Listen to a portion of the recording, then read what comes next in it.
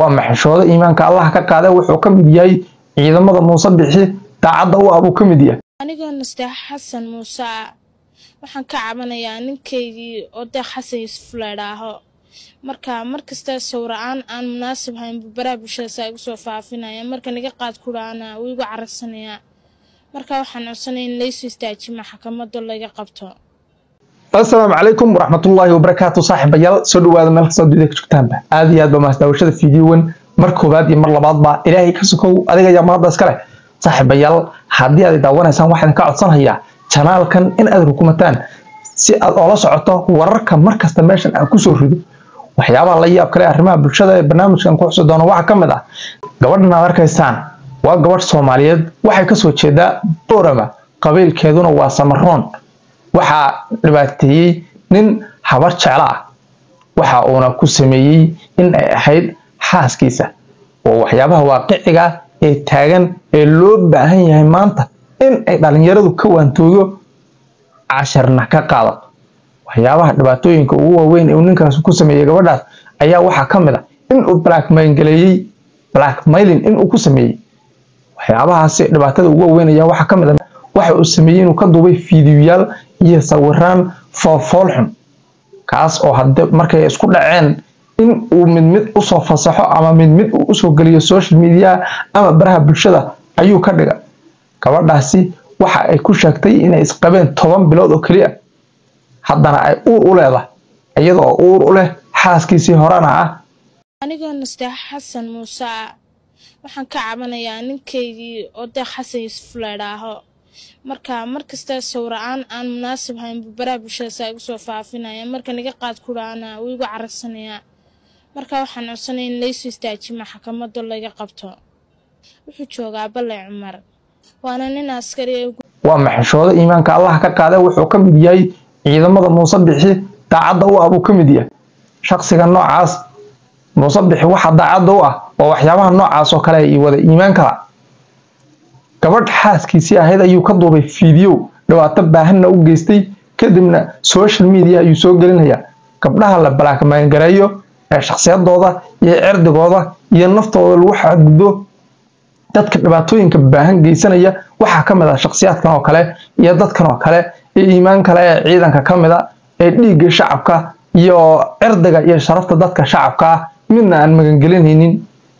Haddaba maxay dhowranayaan kuwa mas'uuliyiinta ka ah? Deegaankaas iyo weliba mas'uuliyiinta ugu waaweyn ee muusabixi cabduu ka mid yahay. Waa sarqaan aan waxba ka warqabin. Haddii ay noqoto xagga ciidanka iyo xagga bulshada labadaba muusabixi kama warqabo. Dhibaatooyinka iyo arrimaha bulshada iyo dadka shacabka ah waxyaabaha ugu waaweyn ee deegaanka ka jira ayaa waxaa ka mid ah in gebi ahaanba aan laga warqabin shacabka amarku taaglaynta iyo dhibaatooyinka iyo cadaalad darrada ka jirta gebi ahaanba somalilan waxaa ka mid ah saraakiisha ciidanka somalilan in ay ku amartaaglayaan odayaasha iyo dadka shacabka dhulkoodana ay xoog ku qaataan. Sidoo kale waxaa jirta hadda somalilan gebi ahaanba inayna ka jirin wax xorriyatul qowl oo qofku uu hadli karo si xorriyada ama qofku uu doono u dhaliili karin. Waxaa hadda muuqata xataa xubnihii ama mas'uuliyiintii somalilan gebi ahaanba in hadde hadaladii iyo macnaha sida ay u hadli jireen hadda ayna u hadli karin. Baarlamaanka laftirkiisu waxay in uu lugta kula jiro oo wax allaalihi wuxuu sameeya dhaho un ay sameeyaan. Waxna aanay dhaliili karin dhibaatooyinkan aadka iyo aadka u baaxadda weynna hadda aan laga hadli karin. Baarlamaanka somalilan haddii ay isku ogyihiin inay yihiin dowlad madax bannaan oo meel gooni a u taagan ma ay ka hadlaan dhibaatooyinkan taagan iyo shacabkan yacni sixir iyo dhibaatada la daala dhacahayo caburinta boorama iyo shacabka awdal iyo lagu haya saylac lagu hayo may ka hadlaan. May ka hadlaan blackmailinka ciidama ciidamada daacadda iyaga u ah gabdhaha iyo shacabka soomaaliyeed ay u geysanayaan. May ka hadlaan haddii ilaahay kuusama ogol yahay yacni damaca guracan ee etoobiya ay ku magan tahay badaha soomaaliga si aan sharci ahayn haddii qaab sharci ah u marhayaan maxaa keenay in dhul soomaaliyeed la kidhayo dad kaa awood badan kaana tiro badan dariskaagana ah. Maxaa keenay in laga kidhayo ayaga oo intaas oo qof ah oo wax bartay oo caqligoodu joogo miyay isku raaci lahaayeen in arrintaasi khaladkaa miyay isku raaci lahaayeen? Waa maya. Wax kasta waxaa ka akiba wax kasta waxaa ka mas'uul ah wax kasta waxaa meel marinaya damaca foosha xun iyo caqliga foosha xun ee liita ee gaaban ee muuse bix waaye haddaba hadalkaygu si toosa wuxuu u khuseeyaa oo si toosa uu u khuseeyaa gabadhan aad arkaysaan ee dhibaatada aadkii aadka u baaxadda weyn loo geysta gabdhaha soomaaliyeed waxaa loo baahan yahay in ay digtoonaadaan in ayna iska duubin fiidiyoyaal xataa haddii uu ninkoodu yahay ama walaalkoodu yahay waa waxyaabaha ugu khaladka iyo dhibaatooyinka ugu waaweyn ee qofka nafsadiisa gelin kara halis. Sababtu waxay tahay haddii adiga taleefonkaaga aad ku dutid sawir khaldan ama fiidiyo khaldan waxaad ogaataa gebi ahaanba sawiraantaas ama fiidiyogayaashaas in ayna ahayn safe oo mar un ay bannaanka kaa imaan karaan sababtu waxay tahay taleefonkaaga waa la ogaan karaa waxyaabaha ku jira si dhib yar ayaa lagu ogaan karaa adduunyadu casri ayay gaadhay. Waa la hormaray. Waa laga qaadi karaa. Taleefonkaaga qof ayaa kaa qaadi kara. Ciidamada somalilan iyo imaanla-aanta mooryaanta ayaa inta kaa qaadaan kaa baari kara.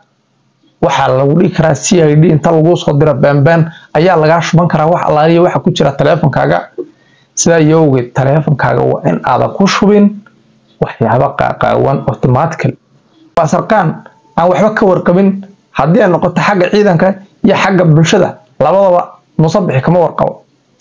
Dhibaatooyinka iyo arrimaha bulshada iyo dadka shacabka ah waxyaabaha ugu waaweyn ee deegaanka sooma ee deegaanka ka jira ayaa waxaa ka mid ah in gebi ahaanba aan laga warqabin shacabka amarku taaglaynta iyo dhibaatooyinka iyo cadaalad darrada ka jirta gebi ahaanba somalilan waxaa ka mid ah saraakiisha ciidanka somalilan in ay ku amar taaglayaan odayaasha iyo dadka shacabka dhulkoodana ay xoog ku qaataan.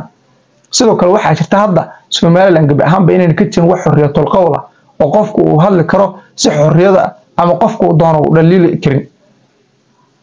Waxaa hadda muuqata xataa xubnihii ama mas'uuliyiintii somalilan gebi ahaanba in hadde hadaladii iyo macnaha sida ay u hadli jireen hadda ayna u hadli karin.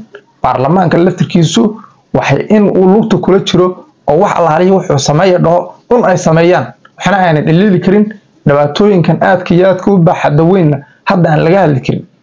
Baarlamaanka somalilan haddii ay isku ogyihiin inay yihiin dowlad madax bannaan oo meel gooni u taagan ma ay ka hadlaan dhibaatooyinkan taagan iyo shacabkan yacni sixir iyo dhibaatada la daala dhacahayo caburinta boorama iyo shacabka awdal iyo lagu haya saylac lagu hayo may ka hadlaan may ka hadlaan blackmailinka ciidama ciidamada daacadda iyaga u ah gabdhaha iyo shacabka soomaaliyeed ay u geysanayaan.